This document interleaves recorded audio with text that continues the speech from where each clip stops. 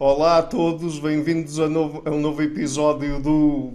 Quer dizer, eu agora vou-lhe chamar o Dissidente, porque como eu tenho o nome em inglês da Dissenter e fica um, sou um bocado mal estar a dizer bem-vindos a um novo episódio do The Dissenter. Eu, a partir de agora vou começar a dizer o Dissidente sempre que tiver uma entrevista em português. Eh, E eu sou o Ricardo Lopes, já toda a gente sabe, pelo menos quem segue o canal e o podcast. E hoje estou aqui com o Marco Neves, que é professor de tradução na Faculdade de Ciências Sociais e Humanas da Universidade Nova de Lisboa. É, tra é tradutor e diretor do Escritório de Lisboa da Eurologos e colunista no Sapo 24. É também autor do blog Certas Palavras e de livros como A Incrível História Secreta da Língua Portuguesa, Dicionário de Erros Falsos e Mitos do Português, Gramática para Todos, o Português na Ponta da Língua e o galego e o português são a mesma língua. E nós vamos tocar em vários dos principais pontos de todos estes livros e do trabalho do Marco. Portanto, Marco, muito obrigado por ter tirado um tempinho para vir ao canal. É um grande prazer tê-lo cá connosco. Obrigado, eu. Para mim é um prazer. Ok, muito bem. Então vamos começar por uma coisa interessante, que é, Sim. isto não é propriamente uma expressão portuguesa, mas há aquela expressão do grammar nazi, certo? Que são aquelas pessoas muito chatas que sempre que alguém eh, comete um erro ortográfico ou quando Sim. fala diz algo que não está gramaticalmente correto ou podia estar melhor, não perdem a oportunidade de picar a pessoa e introduzir a forma correta de falar ou de escrever em bom português, como eles assim o consideram. Portanto, é, é assim, no, no que toca a isto, eh, aquilo que gostava, que- aquilo que eu gostava de lhe perguntar é: eh, estes ataques a quem usa incorretamente a língua portuguesa fazem sentido e se fazem até que ponto? É assim, aqui eu, eu- eu- é, é- é um pouco difícil porque de fazer aqui uma distinção bastante importante entre duas, do- dois tipos de atividade que podem ser confundidas neste caso. É, Assim, eu, por exemplo, sou tradutor e professor e revisor, e, por exemplo, quando, estou a corrigir textos dos meus alunos ou quando estou a traduzir e corrigir textos de tradução, é claro que tenho que procurar os erros todos e tenho que conformar a uma determinada norma ah, da, da- da língua. Depois há as correções que não, que, digamos que não são profissionais, correções que são feitas em qualquer momento, por vezes entre amigos ou até no, no, no Facebook ou nas redes sociais ou por aí fora, e aí há essa tradição muito antiga e em várias línguas, não só em inglês, mas também em português, como nós sabemos, e em francês, em espanhol, em todas as línguas europeias, no fundo, ah, em que há uma, um grupo de pessoas que ah, tenta de forma muito forte ah, corrigir um, a lí- o uso da língua por parte dos outros. Eu, eu- é assim, à partida, por exemplo, se uma pessoa faz isto entre amigos e de forma, digamos, mais ou menos uh, leve, no sentido em que não está a atacar a outra pessoa, não, não tenho nada contra. Uh, o, o- o que me faz impressão é quando este, este tipo de ataques é usado, quando, por exemplo, estamos num debate de ideias uh, e, é- e eu uma das partes, ao, ao, se ver atacada ou não ter argumentos, acaba por usar estes argumentos como forma de, de uh, digamos, deitar abaixo a outra parte. E eu julgo, e aliás escrevi isso um, uh, num, num, dos livros, já não lembro qual, que é um golpe baixo, ou seja, estamos a usar uh, os argumentos linguísticos para. para arrumar discussões que, não, que, nada tem a ver com a, com a, linguística, com a, com a linguística, exato, e com a língua portuguesa.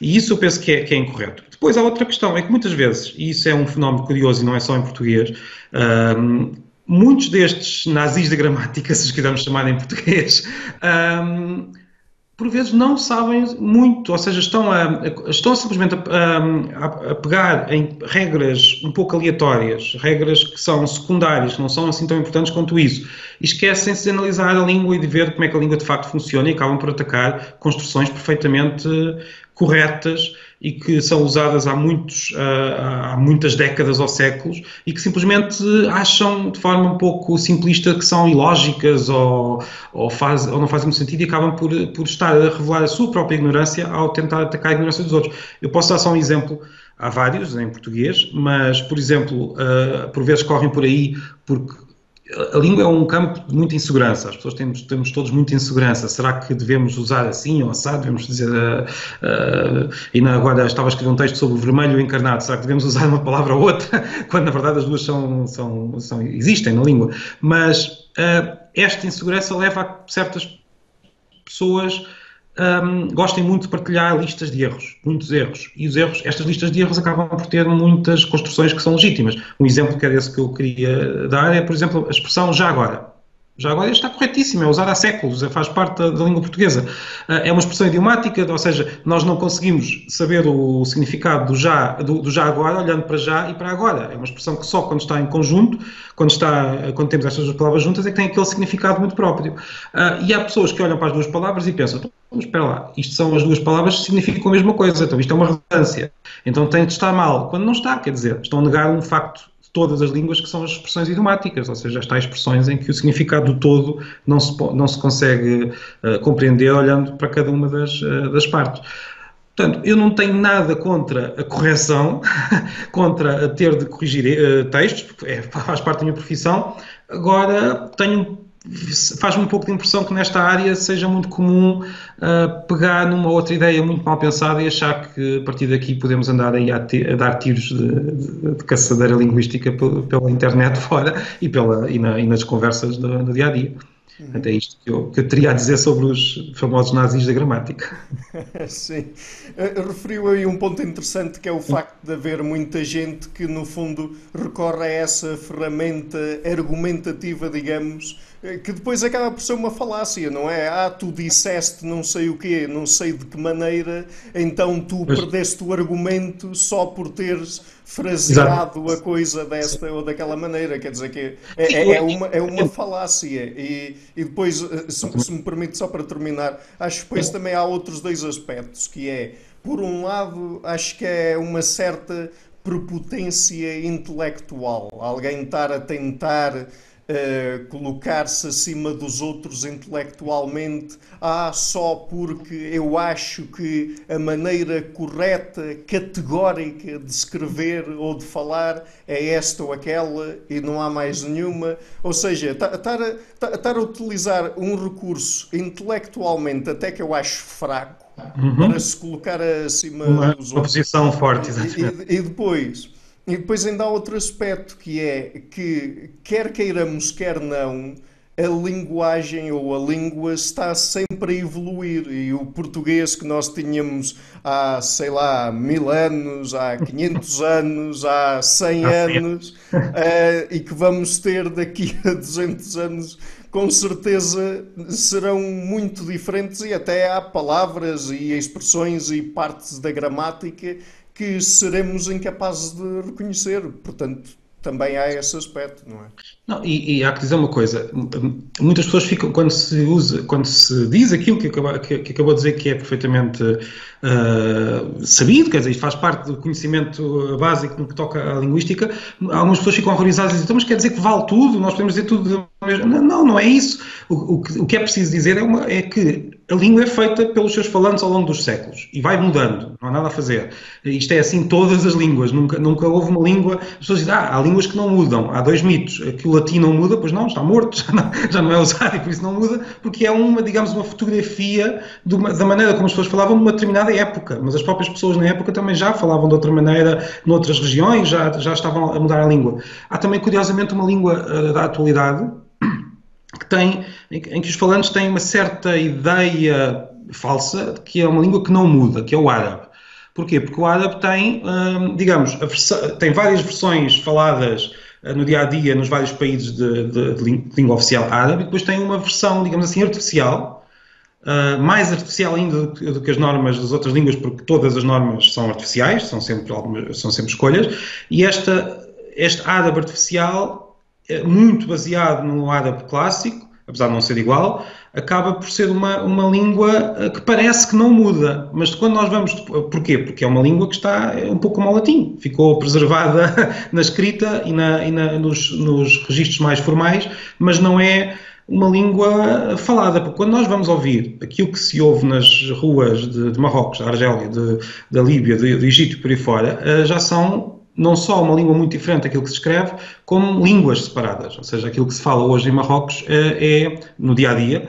Um, não estou a falar da escrita nem do que se usa na, na, no Parlamento, por exemplo, mas o que se fala no, no, no, dia a dia é tão distante do que se fala no Egito como o português do italiano, se for preciso. Ou seja, já estamos a falar de línguas diferentes. Porque há de facto esse facto, repetindo a palavra, esse, há, há um facto fundamental das línguas que, que, que, o Ricardo referiu, que estão sempre a mudar. Portanto, faz parte da, das características de todos os idiomas do mundo, não param. Uh, agora, claro, não é possível prever como é que eles vão mudar. Nós não conseguimos dizer como é que será o português daqui a 50 anos, não sabemos como é que será o português daqui a 100 anos sabemos mais ou menos como é que ele era há 100 anos e como é que ele era há 500 anos, mas mesmo isso é sabemos só aquilo que, que conseguimos uh, perceber pela escrita, porque na verdade a língua é sempre muito mais rica do que aquilo que parece quando olhamos para, para a escrita, porque a língua tem sempre muita variedade regional, muita variedade social entre estratos diferentes e muita variedade até de situação, ou seja, a mesma pessoa pode usar a mesma língua de formas muito diferentes ao longo do dia. Uh, eu aqui estou a falar de uma determinada maneira, quando for falar com os meus filhos falo de outra, quando falar com a minha família terei outras, uh, usarei outras palavras e outras expressões, e, e, e é esta esta característica muito pouco fixa da língua que leva a que ela depois, ao longo do tempo, também vá, também vá mudando. E acho que faz parte da nossa educação percebermos esta característica, percebemos que a língua não é uma caixa com regras e palavras e pronto, e é assim que se usa. Uh, a língua é, muda de pessoa para pessoa e estar a tentar impor um modelo rígido da língua, principalmente num debate sobre outro assunto qualquer, como estávamos a dizer, acaba por ser revelar, de facto, ignorância em relação àquilo que a língua uh, é e aquilo que a linguagem humana é. E por isso uh, acho que é importante haver este, esta percepção. Eu, eu, confesso que acho que, apesar de tudo, as coisas estão um pouco melhores. No, no, no, que toca a esta. A esta a, a, eu, há, há, uns anos, provavelmente, seria um, inconcebível para uma, uma pessoa de Lisboa uh, ligar a televisão e ouvir sotaques diferentes. Por exemplo, só para falar da questão do, do, dos sotaques. Hoje em dia já não é tão fácil encontrar alguém que seja contra sotaques diferentes. Uh, mas acho que estamos um bocadinho uh, melhores nesse aspecto. Mas mesmo assim ainda se ouve, ainda há essa ideia de que há uma forma muito correta, que tanto pode ter a ver com a pronúncia, como com a gramática, como com o vocabulário, e tudo o resto é para apagar e tudo o resto é para, para, para mais tarde ou mais cedo um, mudar em direção a, essa, a esse ideal que que, pronto, agora olhando para, outra perspectiva, este ideal existe em todas as línguas, todas as línguas têm sempre uma forma que tem mais prestígio, mas é sempre uma forma muito, como eu disse há pouco, artificial, e por isso temos que reconhecer isto e, e, e perceber a riqueza que, que existe na, na, em todas as línguas e tentar uh, talvez diminuir um pouco a nossa, uh, a nossa a nossa, como é eu dizer, nossa tendência para uniformizar as línguas uh, com base num, numa determinada forma de falar. Uhum.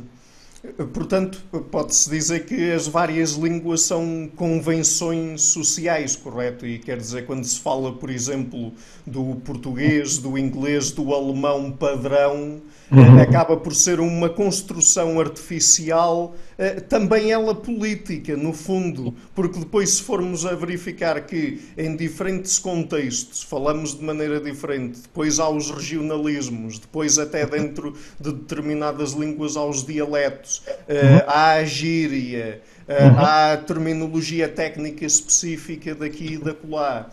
Quer dizer, isto, eu não sei se isto é completamente verdade ou não, mas parece-me que, por exemplo, se falarmos no caso do português, aquilo que é tido como o português oficial, e depois daqui a pouco podemos falar um pouco sobre o acordo ortográfico, que é outro tema multifacetado, um, aquilo que é a língua portuguesa oficial é, no fundo, uh, algo que o Estado desenvolveu para ensinar de forma padronizada em todas as escolas. Quer dizer, na, é um... não sei até que ponto concorda com isso ou não. É, é uma das, das, facetas do processo. O processo é mais antigo e mais, uh, mais complexo.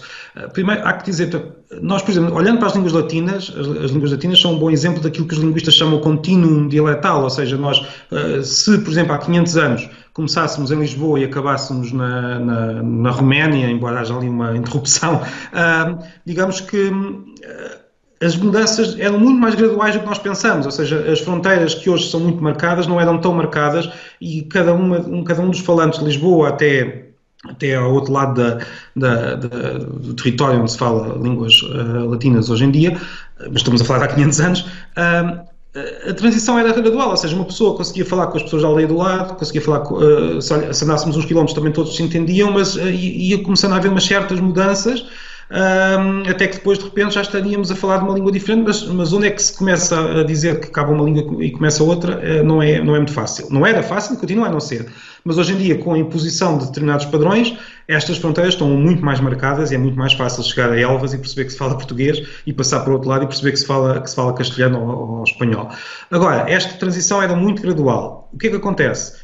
Nos centros de poder, há formas de falar um, particulares. Lisboa tinha uma forma de falar uh, particular que, que, desenvolveu com uma história que podemos falar depois, mas não é isso agora o, o, o ponto. O, o, que é que acontece? Este, esta forma de falar do, da capital, que, que, em Portugal calhou ser a capital, mas há países onde não é capital, pode, depende do, da situação particular. Mas a forma de falar no, no local onde, onde em geral o poder está instalado, ou pelo menos onde há um maior prestígio de, de, quem, de quem, das classes mais, mais uh, influentes, começa a ser visto como uma, uma, a forma correta, a forma que todos devem imitar. Este processo é, por um lado, consciente. Há, de facto, como, como o Ricardo estava a dizer, a certa altura, principalmente a partir do século XIX, uma codificação, de, em termos de, no caso de português até vem, até vem atrás, mas aparecem gramáticas, aparecem dicionários, aparecem uh, obras que tentam escolher quais é são as, as, palavras corretas para cada caso,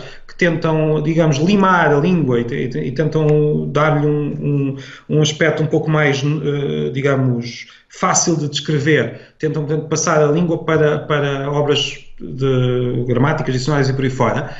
Este é o processo consciente. O Estado depois pode pegar nisto e uh, impor este padrão como padrão na escola e padrão na, na, na, comunicação social e por aí fora. Por outro lado, também há um processo inconsciente. O, o facto das, de, desta forma ter mais prestígio acaba por levar a que muitas pessoas a comecem a imitar, mesmo que, mesmo que não haja uma imposição um, de ninguém. Portanto, estas duas estes dois processos, consciente e inconsciente, levam à criação de uma norma que é sempre um pouco artificial, que nunca corresponde exatamente ao que ninguém fala, ou seja, ninguém fala precisamente, há sempre diferenças, mas há, este, há esta norma de prestígio, norma que é que, que, vemos na televisão, ou pelo menos algo próximo a essa, a essa norma, que vemos na, na, na, escola, como, como o Ricardo disse, que vemos na, na, na, escrita é baseada em geral neste, neste, neste padrão. Agora, o padrão não é ao contrário do que se pensa, e isso é a ideia errada que eu tento combater uh, em alguns de, de, dos livros que escrevi, o padrão não corresponde a uma, a uma forma mais perfeita, né? nem, nem, uh, mais, nem uma forma que foi desenvolvida para, ser para estar mais adequada à alma nacional, como também se ouve por vezes numa, numa mitologia um pouco estranha. É simplesmente a forma que acabou por ganhar prestígio e acabou por ser usada uh, e, e não deixa de ser uma ferramenta muito útil uh, para, para um Estado e para, uma, para um Estado qualquer que queira ter uma, um sistema escolar, um sistema de comunicação social, é uma ferramenta útil, mas não é uma ferramenta mais perfeita do que outras. Se a capital tivesse ficado em Guimarães, ou se tivesse ficado em Coimbra, ou se ficasse em Santarém, ou em Faro, ou o que fosse, a forma mais prestigiada e a forma considerada mais perfeita seria a daquela, a daquela zona. Uh, portanto, não foi apenas por uma questão uh, de contingência histórica da capital ter ficado em Lisboa. Uh, e é uma convenção, ou seja, a norma é uma convenção. E, e, ao ser uma convenção, coisa que eu, por exemplo, eu tenho alguma dificuldade em chamar a língua, apesar de ser muito habitual, eu tenho alguma dificuldade em chamar a língua em si, o idioma, uma convenção. Porque é muito, ou seja, uma convenção em geral, como os sinais de trânsito, por exemplo, uma convenção em geral é relativamente fácil de mudar. Não fácil, mas podemos, uh, digamos, criar uma lei que diz a partir de agora é de outra maneira. E isso faz-se, no que toca à língua, isso faz-se na ortografia. A ortografia é uma convenção pura, não, não, não tem outro nome. Um, a própria norma é uma convenção. Nós podemos dizer que a partir de agora há uma regra gramatical que passa a fazer parte da norma ou não, mas quando eu falo do uso real da língua, e não propriamente da norma, aí não há nenhuma lei que nos diga que passamos a falar assim ao assado. Ou seja, são os próprios falantes que vão desenvolvendo, escolhendo, optando, dizendo que gostam, que não gostam. São processos complicados complexos, que os linguistas já estudam há muito tempo, uh, e processos que têm, digamos, dinâmicas próprias e têm o próprio estudo deste fenómeno leva a uma série de teorias, algumas delas não, não digamos que não estão de acordo umas com as outras, mas, ou seja, é um fenómeno muito, muito, muito interessante uh, e que eu julgo que deve, que deve ser descrito mais como quase um fenómeno natural do que propriamente um fenómeno convencional. Ou seja, a língua em si não é uma convenção, mas depois aquilo que fazemos com ela, a ortografia que usamos, a norma que escolhemos, aí sim estamos a falar de convenções. Uh, aliás, falaremos talvez daqui a pouco da questão do, do galego, que é aqui uma língua mesmo em cima, em que aí é muito visível. Eles têm uma, digamos, uma discussão muito forte hoje em dia sobre qual a norma que devem usar, e portanto estamos a falar de uma convenção, qual a norma que deve ser usada. Não, não tem que ver com aquilo que as pessoas de facto usam, mas sim com aquilo que vai passar a ser usado na escrita e ensinado nas escolas. Portanto, há aqui esta diferença muito grande entre o uso e depois as certas, certas convenções relacionadas com esse uso que, que, é, que era importante compreender. Uh, por vezes, quando as pessoas dizem defendem a língua portuguesa, que é algo que todos nós podemos dizer, defendem a língua portuguesa, usam a língua portuguesa, mas na verdade estão a dizer que defendem uma determinada visão restrita da língua portuguesa, a língua portuguesa vista como uma norma. E eu aí acho que é, digamos, acaba por ser um empobrecimento cultural olharmos para a língua como se fosse apenas esta, esta, esta versão muito, muito limitada dela. Uhum. E já que estamos a referir-nos também a convenções da forma escrita da língua portuguesa, neste caso, Deixa-me só introduzir brevemente o tópico do acordo ortográfico de 1990, porque, enfim, já andamos a discutir isto há tanto tempo na praça pública portuguesa e há pessoas a favor, há pessoas contra. Portanto, eu se calhar primeiro eu ia fazer duas perguntas, mas a primeira ia ser. Hum, concorda com esta forma de abordagem à língua de uma certa forma de imposição de cima para baixo de uma nova forma de escrever? Quer dizer, tendo em conta que a convenção linguística sob a forma escrita é isso mesmo, uma convenção, e portanto, como nós já falámos, de qualquer maneira pode ser padronizada por alguma forma de poder uhum. política ou, ou outra. Sim. Essa é a primeira. Uh, respondo já. Sim, sim, sim. sim respondo uh, já, depois tenho outra. Está bem. Em relação ao acordo, eu posso dizer que não, não nos, nos, meus textos pessoais não, não, não, uso, os livros não seguem o acordo. Uh, tenho de o usar quando faço traduções, quando o cliente assim o, assim o solicita, e não, não tenho problemas com isso porque é uma questão de, profissional, mas diga a minha opinião quando, quando, quando me pedem. o que se passa é que, de facto, a ortografia é uma convenção, como nós vimos até agora.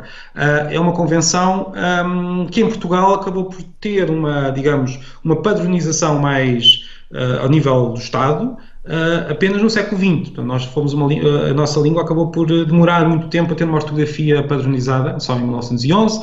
Um, tínhamos uma ortografia, mas é uma ortografia muito dispersa e cada autor podia alterava de forma bastante, uh, ou seja, havia gostos e isso também não, não, havia, não vinha mal ou muito nesse estado de coisas, mas o que é certo é que o governo republicano acabou por impor uma ortografia que no, no fundo é, é, a base daquela que nós usamos hoje. Uh, o problema é que nós temos uma língua internacional e o Brasil não tinha essa mesma ortografia e ao longo do século XX foram, foram, uh, foram sendo feitos acordos para aproximar as duas ortografias. Agora, aquilo que me, que me, leva a torcer muito o nariz a este, a este acordo é, é, são duas coisas. Ou seja, eu, não, eu acho que a discussão, infelizmente, está muito inquinada. Portanto, é um tema que me, que me incomoda um pouco, porque quando eu vou ver as discussões, tenho, uh, noto do lado do, do anti-acordo muito anti-brasileirismo primário, como parece que é um pouco uh, estranho, uh, e do lado do do acordo apenas uma visão muito, às vezes muito uh, vaga e muito ilusória de uma certa comunidade política que não existe entre os vários países de, de, de língua portuguesa. Existe uma comunidade política, mas é uma comunidade que não, que não, não funciona, nem acho que, de, que deva propriamente funcionar. Agora, o que é que se passa? Uh, este acordo foi, foi imposto uh, apenas no, já no século XXI, apesar de ter a data de 1990, foi imposto apenas no século XXI, numa época muito diferente da época quando a ortografia portuguesa foi padronizada pela primeira vez. Em 1911, a ortografia foi um, padronizada num país em que a maior parte da população ainda não sabia escrever, eh, uma grande parte da população. Eh, portanto, o processo foi muito mais pacífico, porque também estamos a falar de uma, de uma minoria da população que, que sabia escrever. Hoje em dia, quando o acordo ortográfico uh, acabou por ser imposto, estamos a falar de, de uma população de milhões e milhões que já sabia escrever e que de repente tem uma mudança. Eu não tenho. Não tenho nada contra a, a mudança em si, uh, aliás, como já falámos, uh, não, não acho que seja impossível um, mudar a ortografia se for necessário. Agora, tem de haver razões fortes. Porquê que vamos mudar a ortografia de uma, de uma população uh, de vários milhões? Porquê? E as razões que são apresentadas é para conseguir unificar as duas ortografias entre o Brasil e Portugal. E o que eu olho até, o que eu digo é até uma coisa curiosa, é que as duas ortografias já estavam muito próximas, ou seja, a ortografia brasileira e a ortografia portuguesa, anteriores ao acordo, já eram ortografias muito próximas. Eu sempre li livros brasileiros, sempre li literatura brasileira, nunca tive dificuldade em compreendê-la por causa da ortografia, tive dificuldade por, por causa de alguns uh, vocábulos diferentes, por causa de uma sintaxe que já é. Agora, a ortografia em si não era nenhum. nenhum uh, não, não, é, não era ali. não era uma barreira. A barreira era outra. Uh, por isso, esta mudança, o meu argumento para não parecer que o acordo tenha sido uma boa ideia é apenas este. Parece-me que não um, que, não, que não havia, ou seja, não, não há um, razões fortes, era inútil, é inútil, ou seja, não, não só não serve para nós lermos melhor livros brasileiros, não serve para isso, como um, atrapalha e atrapalhou e acabou por criar uma situação complicada em que nós temos agora três ortografias. E onde, quando trabalho como, tra como, como tradutor, tenho clientes que me pedem ortografia antes do acordo, portuguesa, clientes que me pedem ortografia depois do acordo, um, e, e, e, a ortografia também brasileira, se for para traduzir para o Brasil, nesse caso serão tradutores brasileiros, não, não, não tem impacto diretamente na minha, no, no meu trabalho, mas, mas ainda a ortografia ou seja, no fundo agora temos a ortografia brasileira, a ortografia portuguesa, que não ficaram unificadas, ficaram a mesma com algumas diferenças, uh, e ainda a ortografia angolana e moçambicana, porque Angola e Moçambique não, uh, não aprovaram o acordo, e por isso seguem a ortografia anterior. Portanto, temos uma situação em que depois de um acordo temos três quando antes tínhamos uh, duas. Mas esta situação, mais uma vez, acaba, ou seja, é possível mudar a ortografia? É, é uma convenção, não há nada que, se, que nos impeça de fazer isso.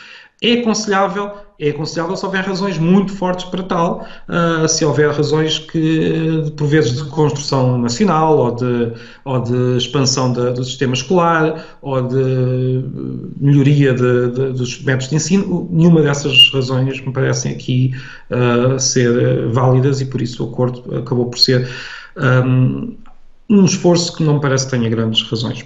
Por outro lado, e, por outro lado não, e no, e no seguimento disto, infelizmente, acabou por acordar alguns fantasmas que como o tal anti-brasileirismo que eu estava a dizer, como certos ruídos nesta comunicação, que são barreiras muito mais fortes do que, do que as pequenas diferenças ortográficas. Tenho pena disso e tenho pena que hoje em dia, quando se escuta a língua, uh, o cor ortográfico seja logo o primeiro tema, que não foi o caso de hoje, felizmente, mas, mas, mas costuma ser logo o primeiro tema e é um tema que acaba por matar muito a conversa, porque nós, e eu não sei, é, é a minha opinião, e já não estou a falar, aqui estou a falar como como leigo na matéria, mas acho que todos os seres humanos temos muita tendência para gostar de qualquer coisa que seja que esteja relacionada com o confronto, com diferentes clubes, com, com diferentes tribos. Uh, e o acordo acaba por alimentar muito essa, essa ideia de diferentes tribos nesta questão da língua e acaba por nos uh, bloquear muitas vezes a discussão uh, à volta do português.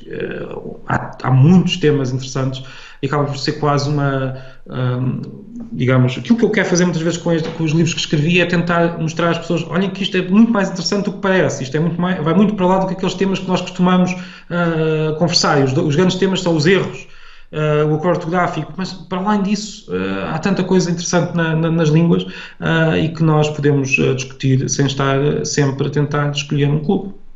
Uhum.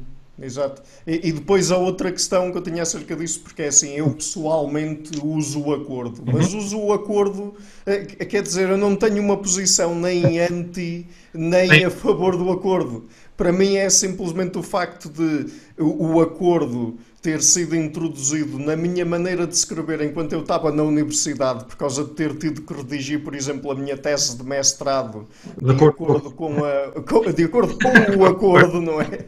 E, e, então, a partir daí, comecei a usar, já não me faz qualquer tipo de diferença a título pessoal, e, e depois também é, é assim, do outro lado, do, do, lado das pessoas que são contra o acordo abertamente, uhum. também se encontram muitos argumentos que eu acho até um, um, um, bocado, um bocado ridículos e a, e a remeter mais uma vez para, para aquela tal prepotência intelectual que eu falava antes, porque é, é aquela questão de ah, a pureza da língua portuguesa e é assim que se escreve português Sim. e se, se deixar de escrever 1,5% das palavras logo que é que mudou com, com o acordo de, desta ou daquela maneira, vai-se perder cultura portuguesa e quer dizer, esse tipo de argumentos é, é, que eu acho que também se calhar estava, estava a aludir quando referiu o facto da discussão estar um pouco inquinada. Está, está. E são, e são argumentos, é assim, há argumentos técnicos que podemos uh, apresentar contra o acordo que existem e que eu podia, posso, uh,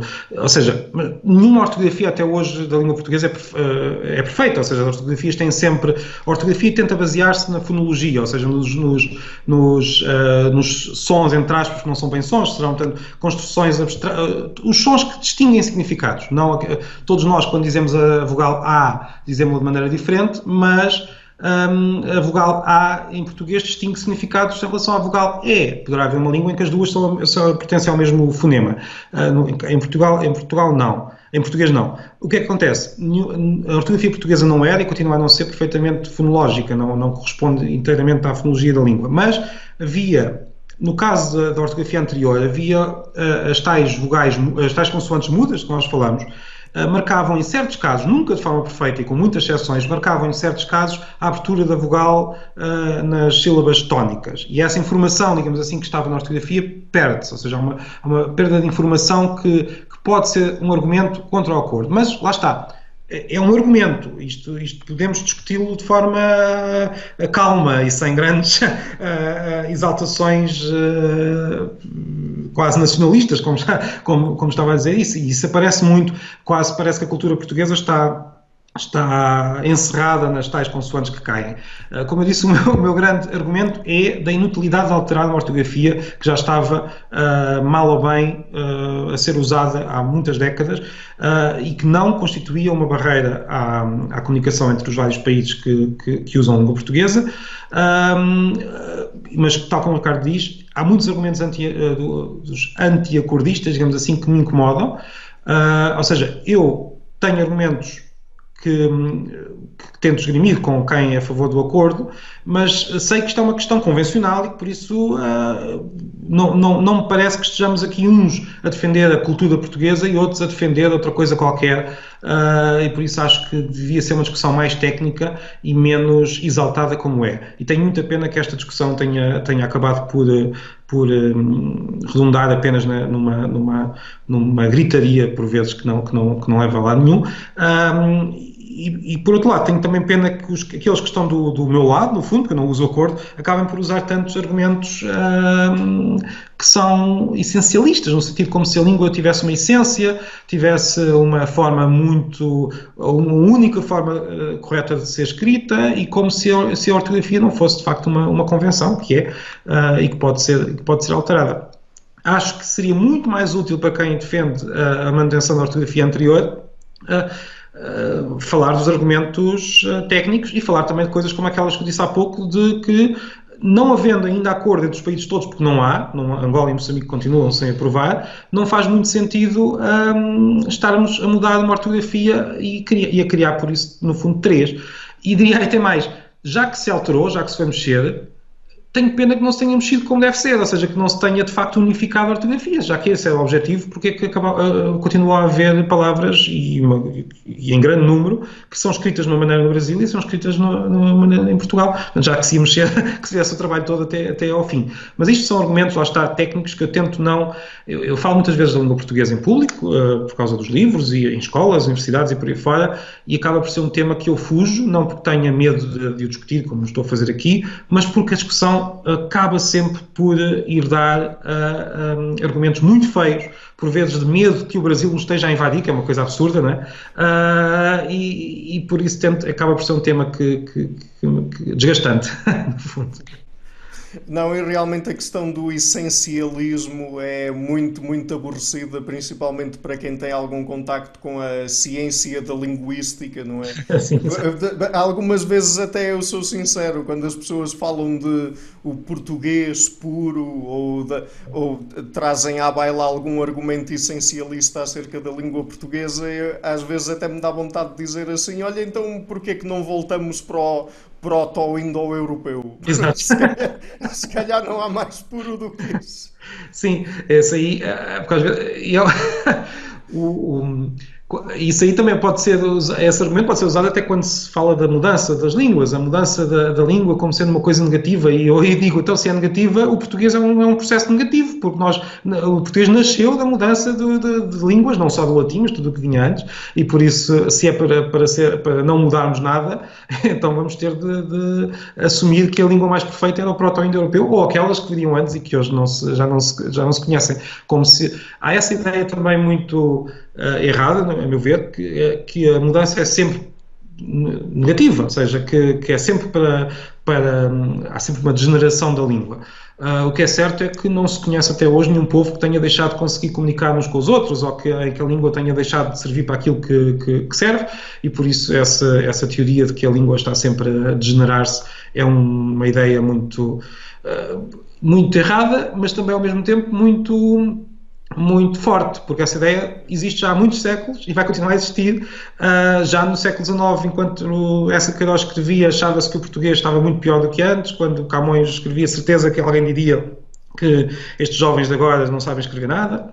E iremos continuar assim pelos séculos fora. É quase, um dos, é quase uma das constantes da, das línguas, haver sempre alguém que diz que, que a língua hoje em dia já não, se, já, não, já não está bem e que antigamente é que era bom.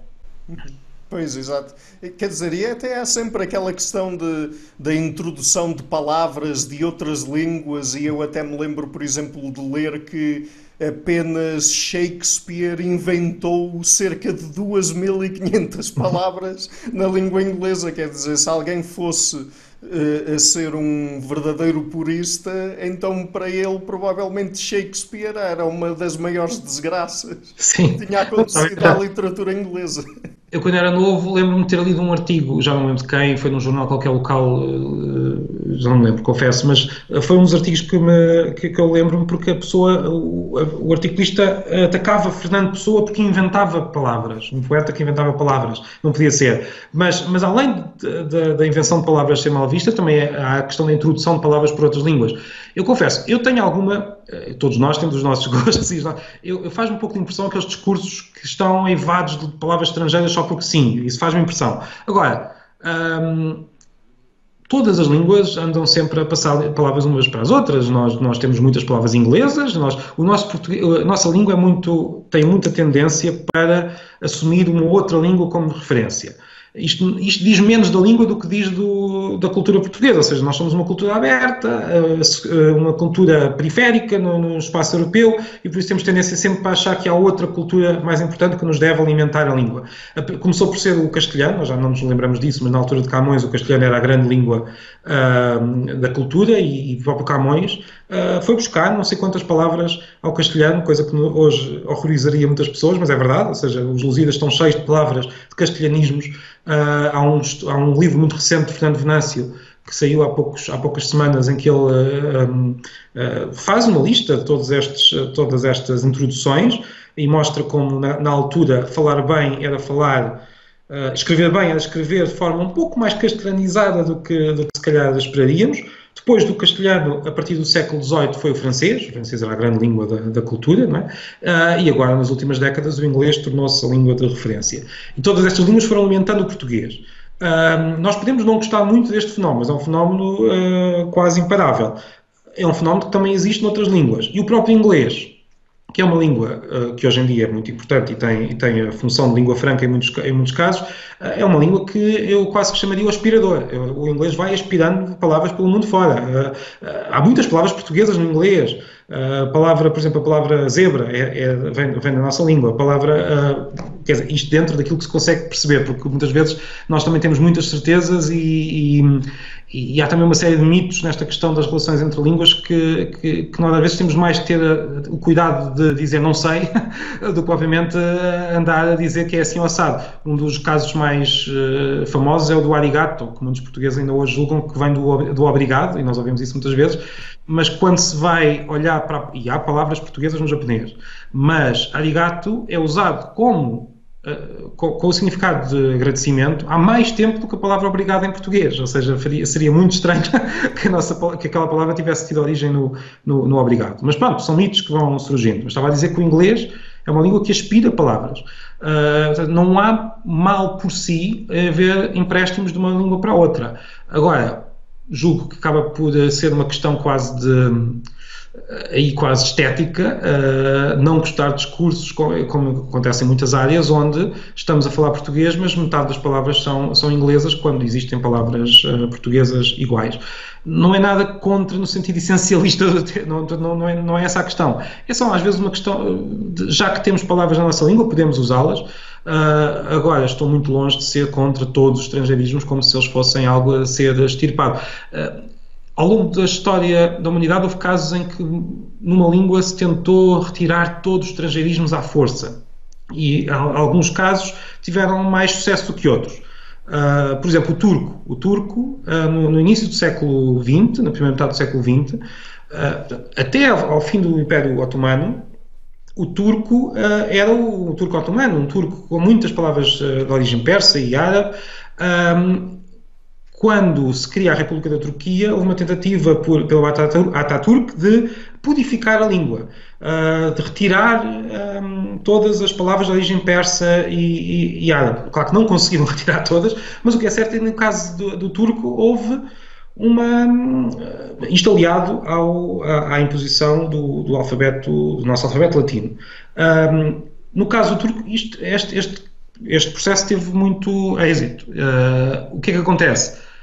No caso do alfabeto latino, eu digo talvez não seja muito, uh, seja um pouco, mas é verdade que o alfabeto latino tem características uh, positivas, é fácil de usar e acaba por aproximar o turco das línguas europeias. Mas por outro lado, o, o ter retirado uma série de palavras e ter obrigado a que uma série de, de, de outro vocabulário fosse imposto de cima para baixo, levou que hoje um turco tenha muitas dificuldades em ler uma obra do século XIX, da sua própria língua. Ou seja, é uma língua estrangeira, acabou por criar uma barreira histórica entre duas fases da língua, que, ou seja, este, este movimento de purificação acabou por ser um movimento de criação de uma língua uh, desligada da, da, da história da, anterior, o que é, o que é pena. Um, há outros casos. Ou seja, isto só para dizer que todos os, todos os processos de purismo que tenham tido algum impacto político acabam por ter resultados nem sempre tão positivos como se pensa.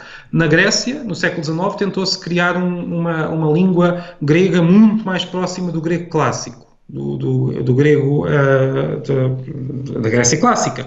Esta, esta língua era, como é óbvio, o grego, desde, desde os tempos clássicos até hoje, mudou tanto como o latim, não é? Uh, ou seja, o grego que os gregos falam hoje não tem uh, nada a ver com o grego, quer dizer, tem, é, tem a mesma origem, é, é uma língua que, que, tem essa origem, mas é uma língua muito diferente, com, com um vocabulário muito diferente, gramática diferente, sons diferentes.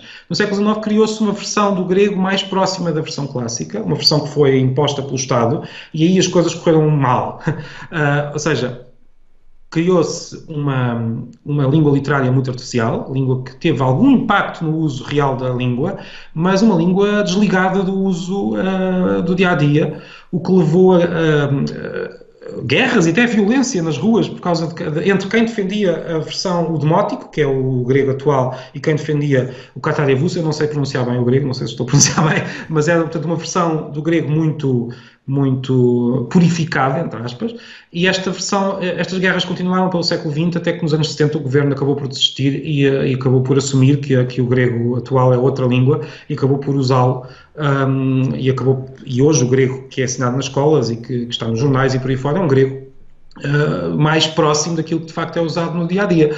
Uh, posso ainda só dar mais um exemplo? Uh, sim, sim, claro. Na Noruega criou-se um processo no século XIX, a Noruega fazia parte do Reino da Dinamarca, o norueguês era uma língua muito influenciada pelo, pelo dinamarquês, uh, estão, estão, tão próximos que podem facilmente ser confundidos com a, com a mesma língua. Quando a, a Noruega uh, se torna independente, um, as elites da, da, capital falavam esse norueguês barra dinamarquês, um norueguês muito parecido com o dinamarquês. Quando houve então um movimento para criar um novo norueguês mais puro, um novo norueguês com, com palavras mais norueguesas, menos dinamarquesas, com uma ortografia diferente.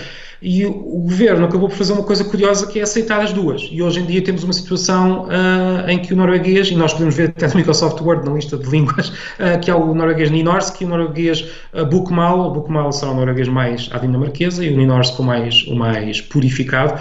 Uh, na prática, o, o, norueguês mais puro, entre aspas, acaba por ser uma, uh, minoritário, usado por poucas pessoas, mas, mas é usado. Portanto, acabou-se por criar uma situação de, de, uma língua que se partiu em duas por, por causa deste movimento de, de purificação uh, nacional. Uh, por isso é que eu tenho sempre muita hesitação em achar que, esse, que o purismo é algo positivo. Acaba sempre por estar, estar, estamos a mexer de cima para baixo num fenómeno que é que, ou seja, mexer de cima para baixo acaba sempre por ser importante no que toca à ortografia e achar alguma forma de padrão que possa ser ensinado nas escolas.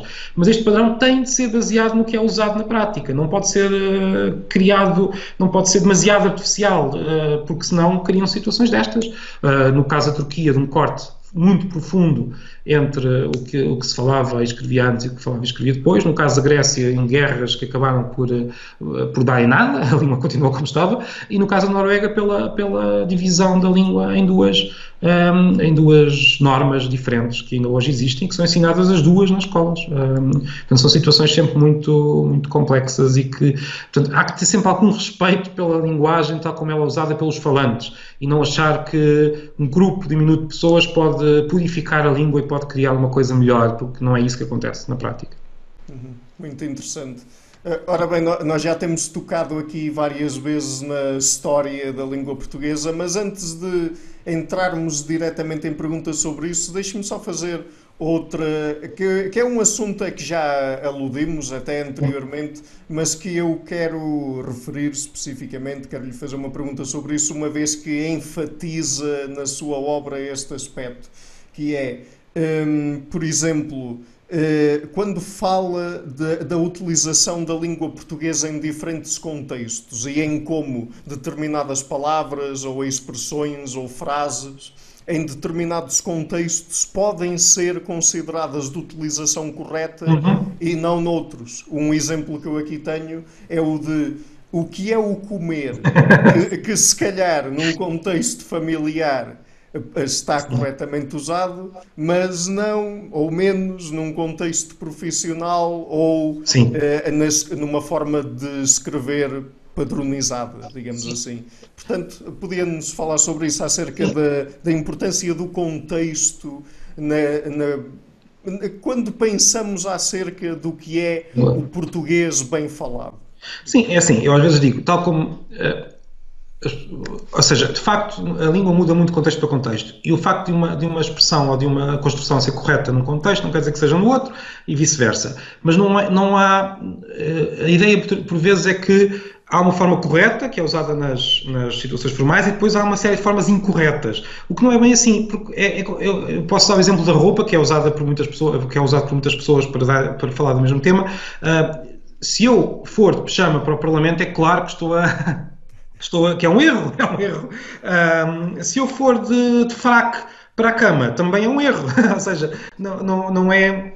Bem, se calhar ir de fraco para o Parlamento também não seria muito, seria um pouco estranho. Mas o que eu quero dizer é que há roupas adequadas para cada situação. Nós podemos querer, às vezes, provocar usando roupas diferentes, mas tem sempre algo consciente, não é? Um, no caso da língua é algo parecido. Agora, por exemplo, usando, olhando para a expressão o comer, é uma expressão familiar usada pelo país fora em muitas famílias e que não tem mal nenhum. Uh, agora, todas as expressões têm, uh, próximo, ou seja, acabam por ganhar ou não, digamos, uh, autorização de entrada em certos, em certos espaços. Não é, não é uma questão, e esse é o engano que muitas vezes as pessoas, em que, as, em que por vezes as pessoas caem, não é uma questão de correção gramatical. O, com, o comer, muitas pessoas dizem, então, mas isso é um verbo, não se pode usar como, como, como nome, como substantivo. E eu digo, mas, mas, há muitos séculos que o português, não só o português, o latim já fazia isso, e todas as línguas que transformam verbos em nomes com uma facilidade uh, muito uh, óbvia. Por exemplo, eu digo o saber não ocupa lugar, somente estou a usar um, um verbo como, como, substantivo, ou dizer o teu olhar é bonito, ou. Uh, enfim, são estes dois exemplos que dão para perceber que, que nós podemos usar um verbo como substantivo. Isto está previsto na gramática do português enquanto regras que estão dentro do nosso cérebro e está previsto até nas gramáticas escritas que tentam descrever a, a, a língua. Um, agora, o que é certo é que o saber ocupa lugar, é uma expressão que uh, pode ser usada em qualquer contexto. O comer é considerado uma expressão popular e não do registro mais, uh, mais formal. Agora, porquê? Não há uma razão óbvia que se possa dizer por A mais B. Foi porque ao longo dos séculos estas expressões acabaram por ganhar estas conotações sociais uh, que não são facilmente descritas e muito menos previsíveis. Ou seja, são, não, não, não é uma questão de correção, não é uma questão de lógica, e de certeza que não é, é mesmo uma questão apenas de hábitos que foram sendo um, que, foram, que se foram cristalizando ao longo dos séculos e que levaram que a nossa língua diga que o comer é uma expressão gramaticalmente correta mas popular e usada em registros mais populares, e o saber já é uma expressão uh, perfeitamente aceitável em todos os registros. Há também quem diga às vezes, ah, mas nós já temos o, uh, o termo a comida, para que é que nós queremos outro? Eu também digo, também temos a sabedoria, o saber, ou seja, são palavras que são sinónimas, mas que têm sempre conotações ligeiramente diferentes. Eu acho curioso, e agora aqui num, num parênteses, que muitas vezes quem anda a atacar estas expressões por serem supostamente uh, incorretas, quando não são, acaba por ser as mesmas pessoas que dizem que a língua anda a ficar mais pobre. Eu não acho que anda a ficar mais pobre. Mas, curiosamente, são as mesmas pessoas que andam a querer eliminar partes da língua que acham que ela está a ficar mais pobre. Então, estejam quietos, deixem a língua uh, respirar e não andem a tentar apagar partes da língua, porque isso sim é um empobrecimento da, do nosso, dos nosso, da nossa capacidade de falar e de, e de existir em vários, em vários contextos era muito. Não existe nenhuma língua que seja assim. E eu acho que seria uma língua muito mais pobre, uma língua onde nós falássemos precisamente da mesma maneira, usando as mesmas palavras, os mesmos, as mesmas entoações, a mesma pronúncia, em todas as situações, em todos os sítios do país, em todas as, uh, as terras, em, em todas. Ou seja, acho que seria uma, um sinal de, de pobreza uh, cultural uh, e por isso tenho, tenho tudo a favor de, de, da diversidade e, principalmente da nossa capacidade para lidar com essa diversidade, que nem sempre existe essa capacidade, não é? Uhum.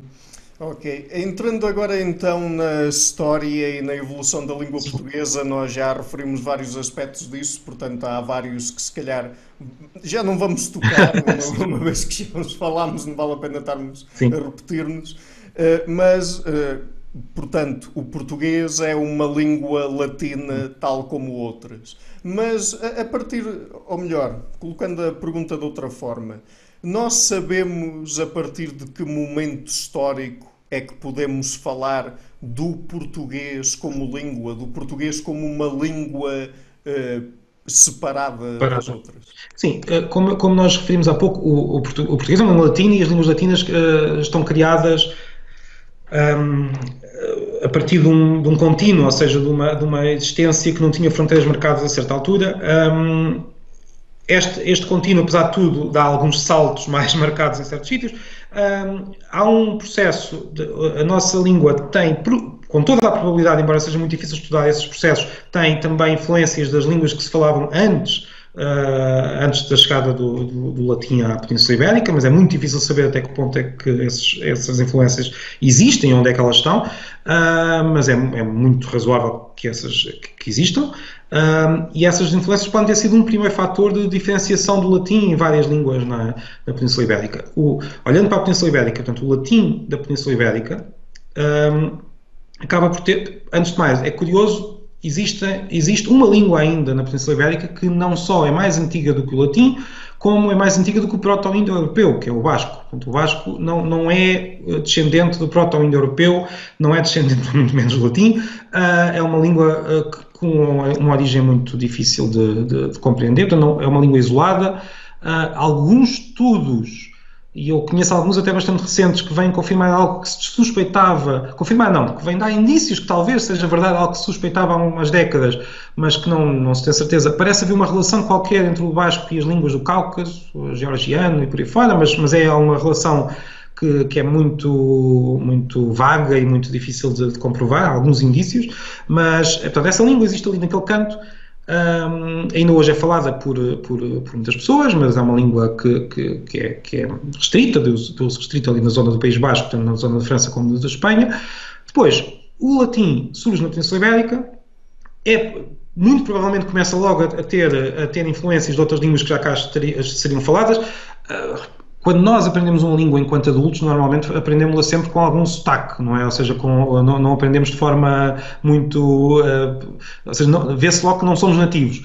Quando uma língua vem de uma zona e é, e é introduzida noutra, noutra área, muitas vezes um, as crianças que a vão aprender vão aprender com esse sotaque que os pais uh, usaram a aprendê-la. Por isso acaba, é aqui que se vê a tal influência das línguas anteriores. Como eu disse, é muito difícil de, de saber onde é que está no, no, caso das línguas latinas. Mas o que é certo é que o latim apareceu, uh, um processo de vários séculos, uh, ficou aqui, ficou, tornou-se a língua da, da, da, maior parte da população, todas exceto os bascos. Um, a certa altura há uma invasão um, uma invasão árabe, os árabes chegam à Península Ibérica, uh, as populações continuam no sítio a falar latim, mas com muita influência árabe, e cria-se então um latim no sul uh, que nós hoje chamamos um latim, uh, um latim não, que nós hoje chamamos moçárabe. É uma palavra que não era usada na altura, mas que é usada hoje para descrever esse latim sob influência árabe, com muitas palavras de influência, de, muitas palavras de origem árabe. Um, no, no no norte da, da península, há uma faixa que se mantém uh, sem essa influência árabe e é nessa faixa que começam a surgir as várias línguas uh, latinas da Península Ibérica. Um, começando do outro lado, uh, começa a surgir uma língua que hoje é chamada catalão e que veio a ser chamada também valenciano. Uh, depois há uma língua que, que, é uma língua que se desenvolveu e que teve, um, teve muita importância, na, principalmente na Idade Média, e depois perde alguma importância no, durante alguns séculos e volta a ser recuperada na literatura no século XIX, uh, embora na prática e na, na fala das pessoas, no dia a dia, ela nunca tenha sido, nunca se tenha perdido e, continu, e continuou a ser a, a língua da população de toda aquela área, não só da Catalunha, como de, de Valência. Mas, de facto, na literatura e no, e no uso escrito, houve uns séculos uh, de menor expressão. Depois temos uma faixa do aragonês, que é uma essa sim que teve uma, uma evolução uh, que acabou por, hoje ainda é falada, mas por muito pouca gente, é uma língua muito, muito pouco, uh, e hoje no dia a dia acaba por ser considerada uma espécie de dialeto castelhano, embora seja uma língua com uma origem diferente, mas, um, mas é uma língua que existe e que acabou por ter uma história muito de, de decadência no número de falantes, mais uma vez, não é uma decadência na, na, qualidade da língua, mas sim no número de falantes. Depois temos uma faixa uh, do meio que é, a língua, que é a faixa do castelhano, uma língua que essa sim ao contrário, teve, um, teve uma expansão muito forte, que acabou por ser também denominada como espanhol, por ter sido a língua usada pela, pela para a construção do Estado uh, que hoje conhecemos como Espanha. É uma língua curiosa, porque é uma língua que alguns dizem ter tido uma influência muito forte do basco. Porquê? Porque uh, isto serão também, lá está mais uma vez, uh, com são ideias que podem ter mais ou menos fundamento, mas que existem e que são baseadas em algumas proximidades fonéticas do, do castelhano com o basco, porque o basco tem apenas cinco vogais, coisa que o castelhano também tem, enquanto que nós e o, o, português e o catalão tem muito mais, temos muito mais vogais, temos o A, o E, o E, o E e por aí fora, coisa que o castelhano não tem. Uh, depois chegamos à faixa uh, que está entre o castelhano e o, e o, português, que é a faixa do asturiano, uma língua que também acabou por, se, como o aragonês, também acabou por, por cair muito e ficar engolida, digamos assim, pelas duas línguas do lado.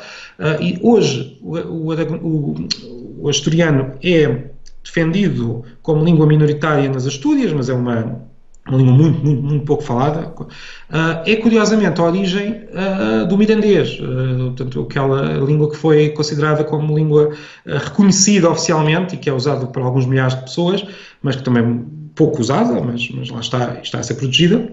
Mas a origem do mirandês é neste asturiano.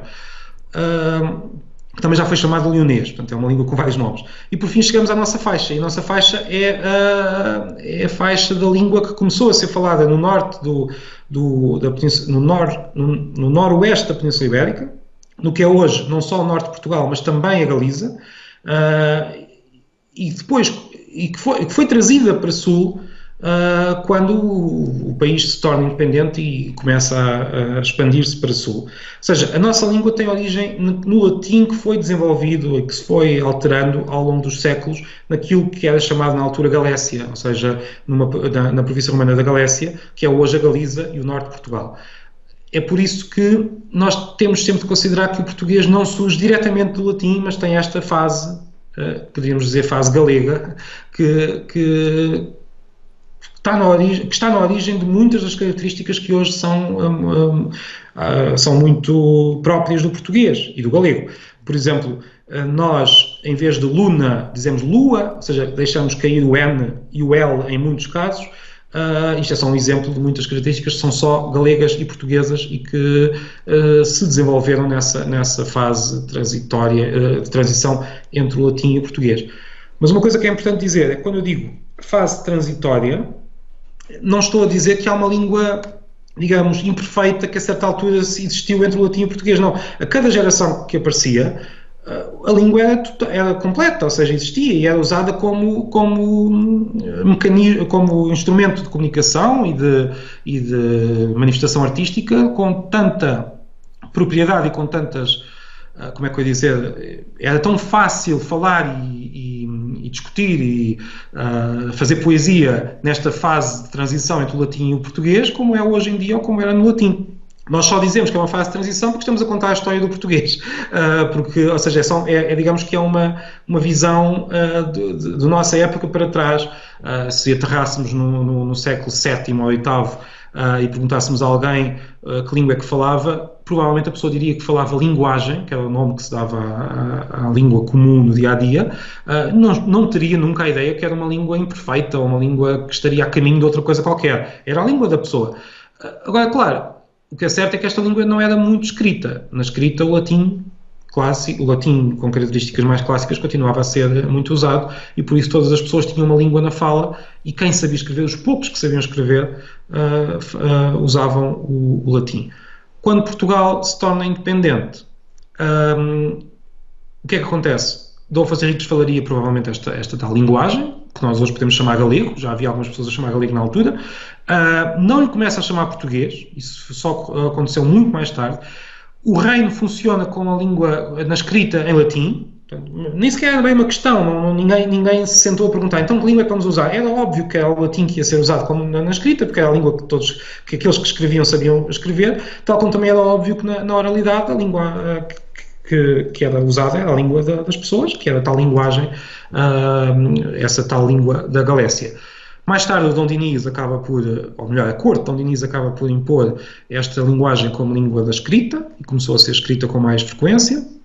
Um, e, e, ainda uns séculos depois, já só no século, no, por volta entre o século XIV e XV, é que começou, começámos a chamar a língua portuguesa e, de, e, a, querer criar gramáticas e dicionários e por aí fora, e a língua começou a existir uh, com este nome, mas já existia, já vem de trás. O que é curioso é que lá está, nós estamos a falar de uma fronteira, a nossa fronteira portuguesa entre Portugal e o que é hoje Espanha, e que na altura não se chamava Espanha, uh, esta fronteira é muito antiga, é das mais antigas do mundo.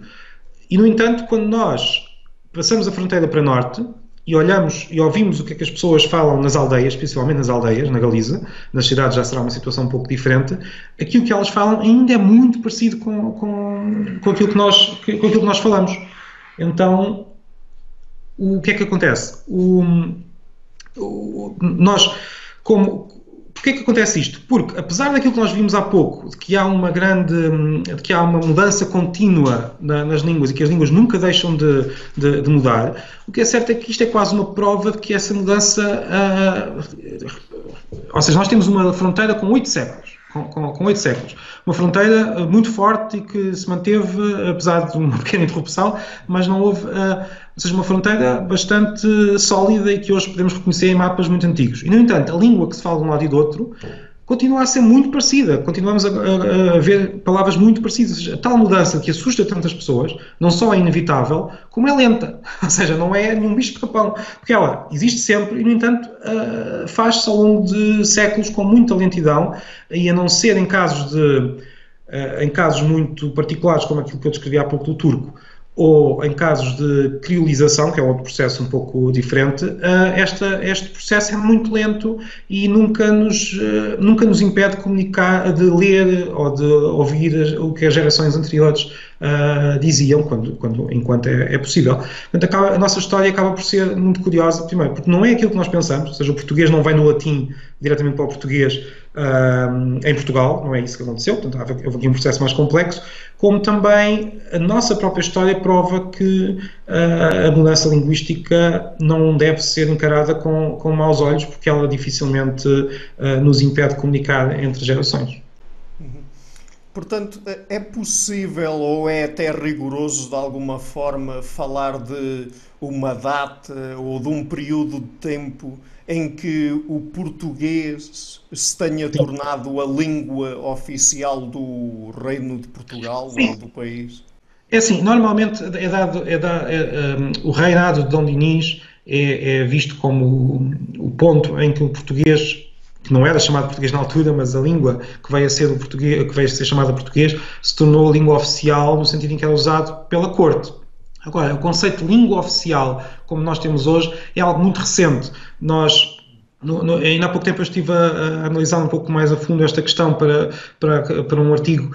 Um, esta ideia de que um Estado tem de ter uma língua oficial, que tem de ser uma língua que tem de ser espalhada pelo todo, por todo o território do Estado, é uma ideia que surge apenas depois da Revolução Francesa. Uh, antes da Revolução Francesa haveria a língua da corte, que nós hoje podemos chamar língua oficial uh, de forma um pouco anacrónica, mas, mas que era mas não havia qualquer, como é que eu ia dizer, não havia a percepção de que esta língua devesse, uh, devesse ser ensinada ou imposta a todo o território. Portanto, era a língua da corte, quem quisesse usá-la, ótimo, quem não, quem não quisesse também não havia mal nenhum, era a língua do rei, uma língua com muito prestígio, claro, mas não, não tinha de haver uma imposição. E por isso é que por exemplo, até chegar até ao século XVIII, a França era, para falar da França, que foi onde este processo de, de, oficialização de uma língua começou, a França era um retalho de muitas línguas diferentes. As pessoas comunicavam através de aprendizagem das línguas do lado, através de tradução, através de, eh, da proximidade entre línguas, que eram línguas próximas, a maior parte delas. Eh, não havia esta necessidade, agora vamos todos falar eh, uma só língua em, em todo o território esta necessidade acabou por ser sentida pelo Estado e acabou por começar, começamos a sentir este, os tais processos conscientes de que eu falava há pouco, ah, de, de hum, imposição de, uma, de um padrão que, ah, que acabou por, por, ter um processo que acabou por ser muito bem sucedido ah, na Europa. Um, ou seja, os Estados hoje têm quase todos uma ou duas, às vezes mais, mas em geral uma língua principal, que acaba por ser usada nas escolas e este processo é um processo com muito êxito. Agora, se é um processo positivo, isso já é, já é uma discussão muito mais uh, uh, forte, muito mais longa, porque há uma série de línguas regionais, de tradições literárias regionais, que, que eu acho que merecem todo o nosso, uh, todo o nosso interesse e que, e que, são, que são tradições muito antigas e que acabam por estar a ser devoradas por este processo que ainda hoje continua de hum, uniformização do, do, do, uso da língua em territórios um, a nível uh, do Estado. Uh, lá está. Estes processos não são comparáveis àquele processo que eu descrevi da Turquia, porque são processos que estão baseados em línguas existentes e tal como são faladas, uh, pelo menos numa zona, uh, mas são processos que acabam sempre por ter alguma, algum, implicam sempre uma diminuição do uso de línguas que são antigas e que têm uma tradição mais tarde. Eu não estou a defendê-las por causa daquelas tais ideias muito essencialistas de que cada língua uh, é uma, é uma é algo que deve ser protegido quase como se fosse algo sagrado, mas sim porque são uh, tradições culturais e literárias que eu julgo que são, que são muito válidas e muito interessantes. Uh, e além disso, a própria diversidade, lá está, como eu também defendo uma diversidade interna de cada língua uh, no que toca aos usos diferentes entre cada região, acho que é muito mais positivo que nós usemos certos mecanismos antigos e que existem, que, como eu disse há pouco, aprender as línguas do, do vizinho, uh, traduzir, se for preciso, aí de forma, uh, faço isso de forma profissional, mas nós também fazemos no dia a dia, quando, quando nos encontramos entre pessoas de línguas diferentes. Usar a proximidade entre línguas, ou seja, não ter tanto aquela necessidade que todos devíamos falar da mesma maneira porque senão não nos entendemos. O que é certo é que nós entendemos, muitas vezes. Mesmo uh, tal língua basca que eu estava a dizer, a, a, a, referir há pouco, que é uma língua muito, muito distante e uma língua que tem uh, uma origem muito diferente das, das, línguas latinas. Antes de haver esta necessidade do Estado de impor uma só língua, as populações entendiam-se perfeitamente entre as que falavam línguas latinas e as que falavam uh, basco. Como é que se entendiam? Aprendiam as línguas uma das outras de forma natural. Uh, às vezes usavam gestos se fosse preciso, mas na prática, se uma aldeia falava basco e outra falava castelhano ao lado, tenho a certeza que não, não, não havia ali uma fronteira marcada, porque se precisavam de, de, de comunicar, comunicavam. E nós hoje vemos isso também Uh, se for preciso, até em zonas turísticas. Quando um turista vai para uma zona e que não sabe como é, como é que se uh, usa a língua da outra, da, daquela zona, ou tenta aprender alguma coisa, ou tenta comunicar de alguma maneira e consegue. Isto são processos naturais e que existem desde sempre na, na humanidade, que, no entanto, não, são, não se conjugam muito bem com esta ideia de que uh, um Estado só pode ter uma língua, porque senão não conseguimos uh, comunicar todos uns com os outros. Uhum. Portanto, neste processo de uniformização, de padronização da língua que disse que começou por volta de finais do século XVIII e depois no século XIX, isso daqui também mudou de uma forma muito expressiva a forma como nós próprios pensamos sobre a língua, a forma como a aprendemos, como ela é disseminada entre as pessoas de uma determinada unidade política, como um Estado ou qualquer coisa assim, certo? Sim, é assim, como uh, vimos há pouco, aquela ideia de que os jovens hoje falam mal é, é algo, uma ideia muito antiga, que já vinha do, do Império Romano, uh, já temos escritores romanos e já ninguém sabe falar hoje em dia. Uh, há, aliás, há até listas um pouco mais tardias de erros de latim, que são listas muito curiosas, porque são listas que mostram o processo de formação das línguas, porque são erros que no fundo estão a indicar como é que as línguas estavam a, estavam a, a evoluir. agora, esta ideia muito mais recente que há uma língua que está muito adaptada a cada nação e que cada nação só pode ter uma língua e que esta língua tem uma forma correta e que essa forma correta deve ser imposta, e isso é uma ideia de facto muito, muito recente, digamos assim, e que está muito ligada à existência do, do, de um movimento político nacionalista, ou seja, do nacionalismo do século XIX, uh, eh, principalmente, e que, e que leva à, à, crença de que cada povo tem uma, tem uma, não só tem uma língua, como tem uma maneira mais pura e mais correta de, de falar essa língua, ou seja, este purismo uh, que, que falávamos há pouco também está muito relacionado com estes processos que são são muito mais recentes do que nós pensamos. Porque a ideia que nós temos é o português é uma língua muito antiga, e é uma língua muito antiga. Agora, a ideia de que há uma forma mais correta e que esta forma tem de ser imposta e que tem de ser um, purificada, essa ideia é muito mais recente do que nós pensamos. Uhum. É, então, se calhar eu terminava Sim. com uma última questão, já, quer dizer, já passámos por ela um bom bocado, já, já referiu bastante este aspecto. Mas aproveitando até o título de um dos seus livros, o galego e o português são a mesma língua?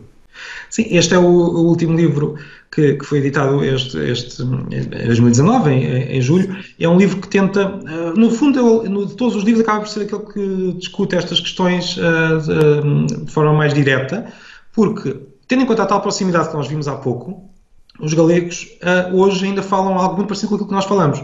Um, o que acontece? É possível pegar no material linguístico que se ouve nas, nas, aldeias, principalmente, e nas cidades também, entre os galegos que ainda falam galego, portanto, o, o castelhano já é muito falado na Galiza, mas até há poucas décadas o galego era a língua claramente maioritária. É uma língua com pouco prestígio, ou seja, era considerada uma língua pouco, pouco prestigiada. O espanhol, que era a língua prestígio, na, portanto, é, que é uma situação muito diferente do que acontece no País Basco e na Catalunha, que também tem mais prestígio.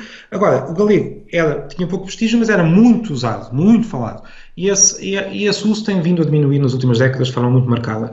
Uh, agora, à medida que o uso tem vindo a diminuir. O que é certo é que o galego, ao contrário do que acontecia antes, porque se o português se tornou a língua oficial do, do, do nosso país, o galego, que era o mesmo material na, na base, não se tornou língua oficial de país nenhum.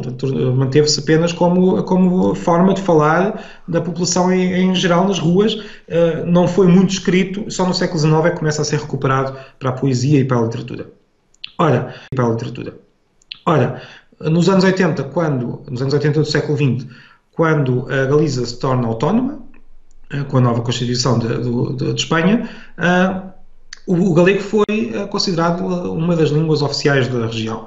E, e, foi, e era necessário criar uma, um padrão, lá está, aquilo que nós já fomos discutindo. Esse padrão, havia aqui duas fações, digamos assim. Uma, não é um padrão, não, não foi criado de raiz, já, já, já tinha uma tradição. Portanto, uma das, digamos, uma das ideias era criar um padrão autónomo, no sentido em que era um padrão desligado do português, Uh, com uma ortografia muito mais próxima do, do, do castelhano, um, com os N's, por exemplo, com o N com o til, o, este padrão acabou por ser o escolhido. Mas na mesma época havia uma outra hum, ideia, uma outra corrente, que achava que o galego e o português ainda estavam tão próximos que podiam ser considerados a mesma língua e podiam usar a mesma ortografia. E usavam uma ortografia que é muito, muito parecida com a nossa, uh, com algumas diferenças. Em vez de o ão com o A, com til e com o O, usavam on, uh, com OM, porque de facto ão é um fenómeno muito português e muito do sul, só depois é que se começou a espalhar para, para, para o norte.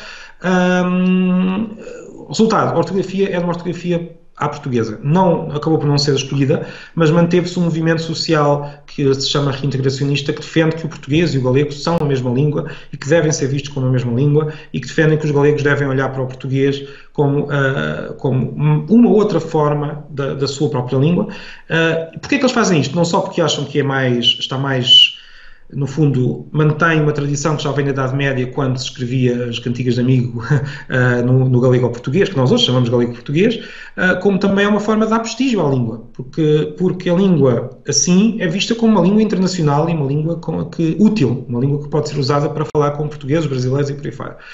Uh, no entanto, este movimento é de facto minoritário e não. E não e o, que, o que eles consideram neste momento é que eh, não é muito fácil pensar numa situação em que o governo da Galiza vai aceitar uma ortografia à portuguesa e por isso este movimento reintegracionista defende uma coisa curiosamente parecida com a Noruega, no fundo é o que eles acham que é a melhor hipótese que eles têm para, para defender a sua, a sua opção, em que um, existem as duas, as duas normas e as crianças podem aprender as duas e aprendem o, o galego autónomo e o galego uh, à portuguesa. Isto para nós é assim, eu acho muito interessante, não, não, não gosto de entrar na discussão, não vou dizer devem fazer assim ou assado, que isso é uma discussão para, para os galegos, que é uma decisão política, mas acho interessante que os portugueses uh, não conheçam esta situação, não, não, não, conheçam uh, a proximidade que há entre o galego e o português, que é uma proximidade real, uh, e que nos permite duas coisas. Primeiro, conversar com os galegos, se com alguma, ou seja, se falarmos com um pouco mais devagar, porque nós somos, temos, nós os portugueses falamos muito depressa, em geral, mas se falarmos um pouco mais devagar, eles em geral compreendem. Um, só que a nossa tentação é, vamos para a Galiza, estamos em Espanha, falamos uma coisa parecida com o espanhol, começamos a tentar falar espanhol, uh, coisa que enerva alguns galegos porque acham que não, que não valia a pena. Uh, eu já fiz a experiência, cheguei à Galiza e falei sempre em português e resultou, nunca tive problemas e sempre me compreenderam, falavam em galego, eu compreendia. Uh, outra coisa, e isso é muito mais fácil, é que nós podemos pegar num livro em galego, e há uma grande literatura galega, a literatura galega tem muito, tem muito por onde pegar, e ler sem qualquer dificuldade. Se o mesmo acontece também com o castelhano, no fundo também não é assim tão difícil, o que é certo é que nós pegamos um livro galego e não só conseguimos compreender, como vemos que muitas das palavras são as mesmas, e é curioso, e é, é uma, quase um reencontro destes dois povos que, que, estão separados, e vão continuar, não, é? não nos vamos unir, mas que estão separados há oito séculos e ainda conseguem ler aquilo que os outros escrevem. Nós apanhamos palavras, quando lemos um livro galego, como azinha, que é uma coisa que nós encontramos naqueles velhos uh, textos das, das, crónicas portuguesas, que quer dizer depressa. Nós já perdemos esta palavra e quando de repente lemos um texto galego encontramos uh, essas palavras antigas portuguesas também nos, nos textos de hoje, de hoje em dia, o que é muito curioso. Portanto, o livro é uma pergunta, a resposta que eu dou fica no final, uh, que eu não vou revelar, mas é, é, uma resposta que, enfim, há pessoas que dizem que sim, outras que não. Eu digo de uma determinada maneira uma das respostas. Uhum. Muito bem, fica no ar então também para abrir o apetite para as pessoas irem comprar o livro e lê-lo. Um, eu vou deixar links na descrição da entrevista para a sua coluna no SAP24, para o blog, certas palavras, para os livros todos. Há qualquer outro sítio na internet que gostaria de referir onde as pessoas podem ter acesso ao seu trabalho ou não? Uh, para já não. Uh, no futuro estou agora estou envolvido em umas investigações um pouco diferentes uh, linguísticas sobre a, medição de, de proximidade, da, da, da, proximidade entre línguas e no, que toca ao próprio estudo da tradução enquanto fenómeno, mas isto será para o futuro. para já esses que, que, que, que referiu são aqueles que, que onde, onde o trabalho pode ser encontrado. Obrigado. Então... Ok, muito obrigado então por ter tirado o tempo, Marco, para ah, estar no canal connosco e eu gostei imenso da conversa, foi muito elucidativa e espero que, o, que as pessoas que vão assistir ou, ou ver ou ouvir a entrevista também achem interessante. Passámos por muitos tópicos da língua portuguesa e da linguística, por isso, obrigado. Obrigado, eu. Obrigado. Hello everybody, thank you for watching this interview until the end. As you might have noticed, I've already done more than 300 interviews with academics and intellectuals from a variety of fields. To keep the channel sustainable, I would really need to ask you to please visit my Patreon page and to consider making a pledge there. I also have links to my PayPal account in the description box of the interview. Otherwise, and if you like what I'm doing, please share it, leave a like, and hit the subscription button. I would also like to give a huge thank you to my patrons Karen Litska, Anne Blanchett, Paraga Larson, Lau Guerrero, Chantel Gilinas, Francis Ford, Hans Frederick Sunda, Brian Rivera, Sergio Condriano, Jane Henninen, Ricardo Vladimiro, Craig Healy, Adam Castle, Vega Giddy, Olaf Alex, Jonathan Wiesel, David Dias, Anian Kata, Jacob Klinkby, Matthew Wittingberg, Arnaud Wolf, Tim Hollacy, Henrik Alenius, Dr. Jerry Mueller, Herbert Gintis, Rutger Voss, and Bo Weingard. My four producers, Isar Webb, Rosie, Jim Frank, and Lucas Stafiniak. And finally, my executive producer, Michel Rugieski. Thank you for all.